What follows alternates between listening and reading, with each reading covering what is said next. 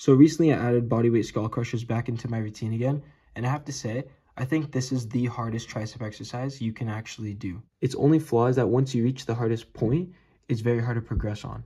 Now to make this easier, you'll simply put the bar higher on the rack, and you can move your feet closer actually towards the bar to also make this easier. To make this harder, you'll do the opposite. You'll put the bar lower on the rack, and you can put your feet all the way back. To keep your form in check, have your abs flexed, shoulders retracted, and keep your elbows in.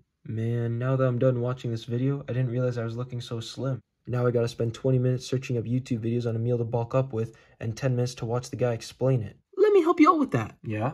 Yeah, I have a video on my YouTube channel about a meal that's over a thousand calories. Oh, really? Yeah, so why don't you go check it out? I will then. Yeah? Yeah. Yeah? Yes! Okay, please don't hurry. Make sure you leave a like and subscribe and a comment on the video and tell me what you think of it.